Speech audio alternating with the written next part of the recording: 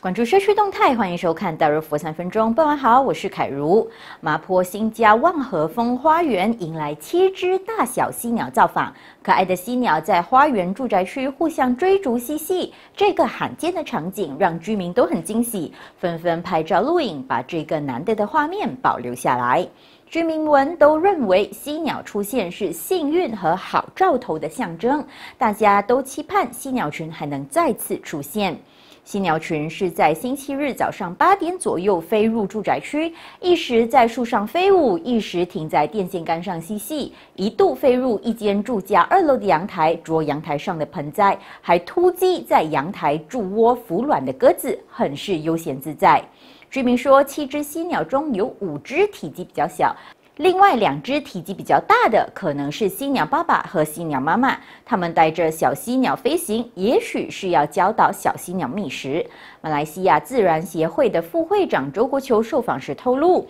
以上的犀鸟属于冠斑犀鸟，也被称为黑白大头鸟，是犀鸟品种中体积最小，也是最常见的一种。他说：“我国有十个品种的犀鸟，大部分都生活在深山，只有冠斑犀鸟比较亲近人类，会飞到住宅区觅食。”他提醒人们，看到任何品种的犀鸟都不要捕抓，因为犀鸟的数量受环境开发和走私活动影响，已经越来越少了。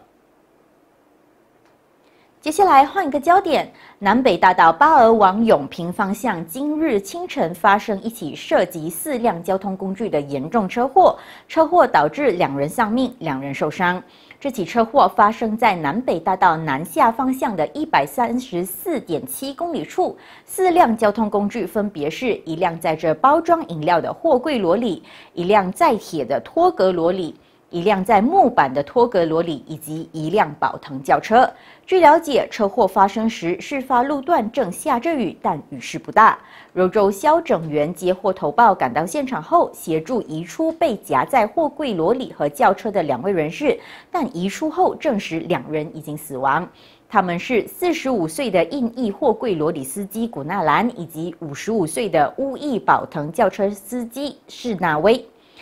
两名伤者则是货柜罗里副手二十岁的印度国籍男子阿纳杜莱，以及二十九岁的乌裔罗里司机詹利哈辛。